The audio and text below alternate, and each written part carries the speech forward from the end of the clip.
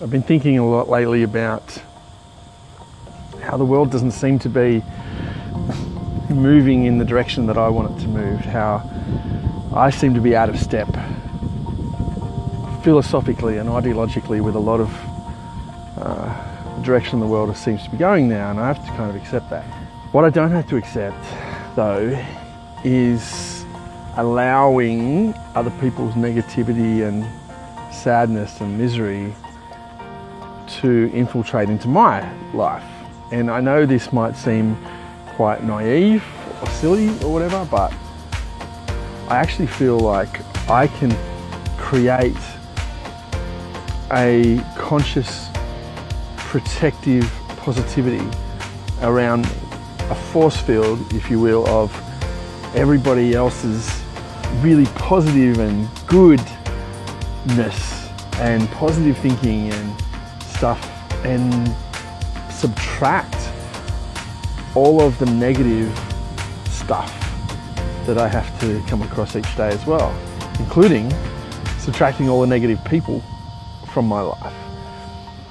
And it's a really simple kind of concept when you think it. This, this conscious protective positivity just means that eventually all of the light should push out all of the dark. And if all I hear is, is good, honest, transparent positivity, and I don't have to listen to negative, miserable people telling me their stories and telling me the same old things about, you know, how terrible the world is and how terrible people are. But eventually that will become my reality.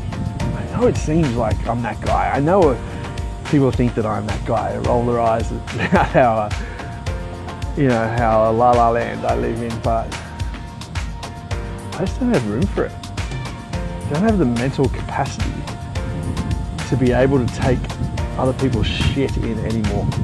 I've enough shit. So from today, I commit to myself to have this conscious, protective positivity around me. And if you want to be part of that, come on in. But if all you're going to do is be negative and miserable and repetitively sad for no other reason than to bring me and the rest of the community down, I've got no room for you anymore.